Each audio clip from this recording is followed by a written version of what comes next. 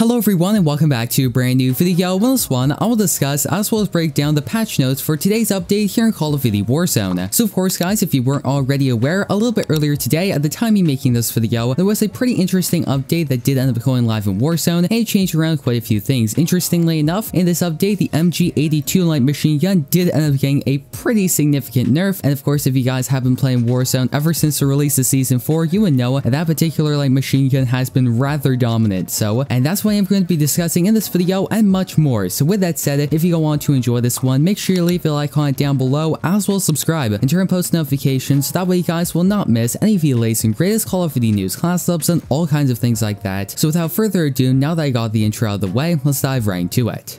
And alright, so to kick off today's video, I am going to be breaking down the update a little bit. So interestingly enough, this is one of the first major updates that we did end up seeing in Warzone Season 4, and interestingly enough, related to that, some of the major pieces of content that were changed in this particular update are in regards to the new Season 4 DLC weapons, of course being both the MG82 light machine gun as well as the nail gun submachine gun. Now this is pretty typical because generally, whenever there are new DLC weapons that are added into Warzone, they usually have to be tweaked a little bit, you know, we can think back to Season 3 where the PPSH submachine gun was kind of underpowered then didn't end up getting buffed. And of course a very similar thing is happening here in season 4 and additionally in this update they also mention about what they are going to be doing in terms of dead silence which is rather interesting. So to actually get right into it I'm going to be reading a statement that Raven Software did end up making when they're talking about dead silence. So they go on to state and I quote some thoughts on perks. We are exploring all avenues in terms of changes to provide fair and reactable counterplay options to dead silence. A decision like this must be made carefully, especially considering how it may destabilize other aspects of the game. We cannot promise anything at this moment, but as we close in on an appropriate solution, we will share more details, sit tight. So this is rather interesting because a lot of people recently have been talking about and voicing their concerns with Dead Silence, so hopefully in the very near future we are going to be seeing a solution. It does imply that they are going to be having a solution very shortly. So with that said, now let's move on down and talk a little bit about weapons. So first and foremost, let's talk about the MG82, which a lot of people have been talking talking about because the melee or the MG82 was kind of broken in Warzone, had pretty much no recoil, a very high headshot multiplier, and all kinds of things like that. So, of course, in this particular update, the MG82 did end up getting nerfed, and what they did, and I quote, is the maximum damage was decreased from 30 to 29, the minimum damage was decreased from 28 to 27, the maximum damage range was decreased by 20%, the headshot multiplier was decreased from 1.3